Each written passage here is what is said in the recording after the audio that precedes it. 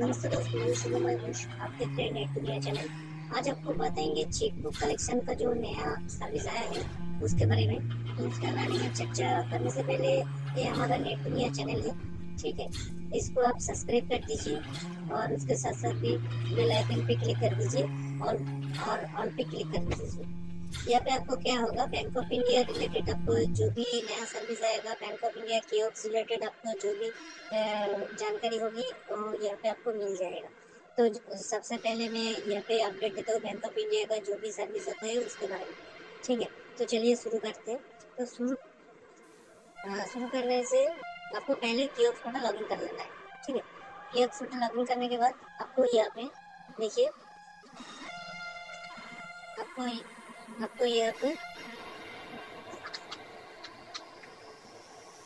पे देखिए other service में आपको चेक बुक कलेक्शन करके एक ऑप्शन आ जाएगा तो यहाँ पे आपको क्लिक करना तो क्लिक कर दीजिए क्लिक करने के बाद यहाँ पे आधार नंबर डाल दीजिए आधार नंबर डालने के बाद यहाँ पे सबमिट करके सबमिट कर दीजिए सबमिट करने के बाद यहाँ पे कस्टमर का फिंगरप्रिंट आएगा तो कस्टमर का पिन देने के बाद यहाँ पे कैप्चर फिंगर पे क्लिक कीजिए तो कैप्चर फिंगर कर क्लिक करने के बाद यहाँ पे कस्टमर का नाम अकाउंट नंबर मोबाइल नंबर देखा देगा तो यहाँ पे आपको सिलेक्शन करके सबमिट करना है। सबमिट करने के बाद आपके सामने ऐसा इंटरफेस खुल आ जाएगा ड्रॉयर बैंक ठीक है? ड्रॉयर बैंक में यहाँ पे देखिए जो भी बैंक है तो यहाँ पे आपको सिलेक्शन करना है। और ब्रांच का नाम तो यहाँ पे लिखा रहेगा ठीक है।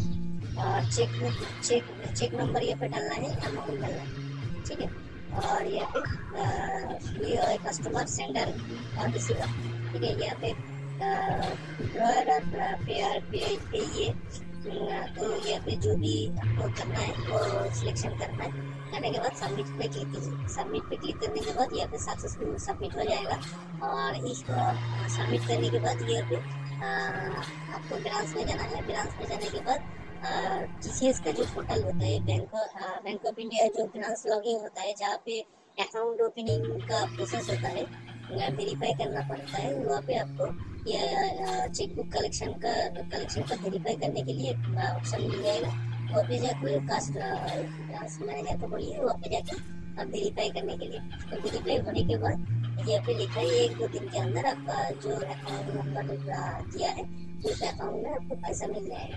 ठीक है यहाँ पे देखिए one successfully approval reference number और चेक बुक कलेक्शन जो चेक बुक जो दिया है, जो आपने रेफरेंस नंबर यहाँ पे मिलेगा, वो रेफरेंस नंबर लेके आपको ब्रांच में जाना होगा, तभी तभी आप वेरीफाई होगा।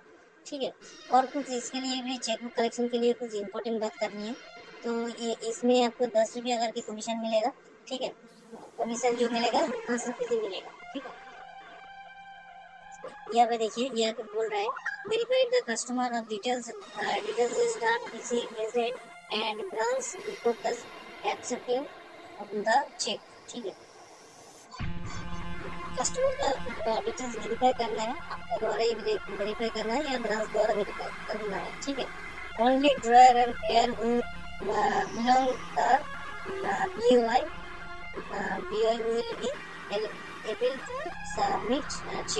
at receipt point.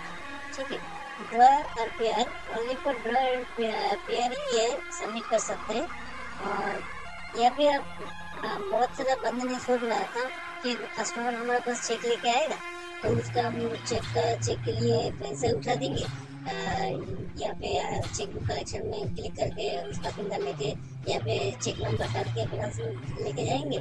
जाने के बाद वेरीफाई करेंगे तो हमारा ओटी में पैसा चला जाएगा लेकिन ऐसा नहीं है, दोस्त। यहाँ पे आपको ओनली फॉर क्रॉस मतलब जो अकाउंट पे मतलब अकाउंट से जो पे होता है मतलब सोच लीजिए आपके, आपका कोई दोस्त, आप कस्टमर आप ही कस्टमर है तो आपका कोई दोस्त ने आपको अकाउंट में पैसा भेजना चाहता है।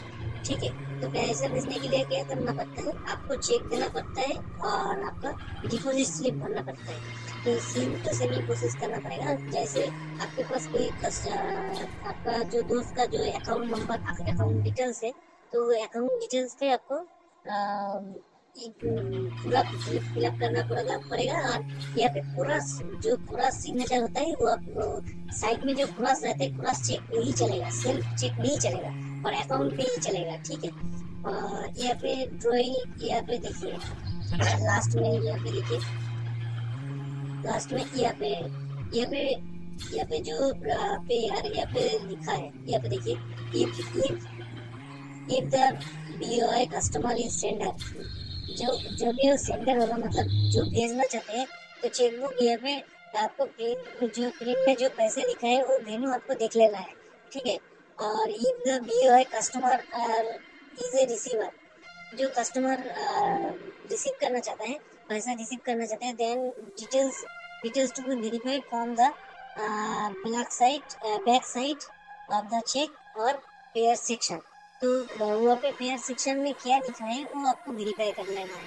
थोड़ा सा वीडियो के लिए बहुत सारे बोल रहा था मैं थोड़ा बिज़ी था इसलिए वीडियो बना नहीं सकता बनाने के लिए थोड़ा लेट हो गया ठीक है दोस्त अच्छा लगे तो ये वीडियो शेयर कर देना और लाइक भी करना मत भूलिए सब्सक्राइब तो करिए ही करिए थैंक यू दोस्त।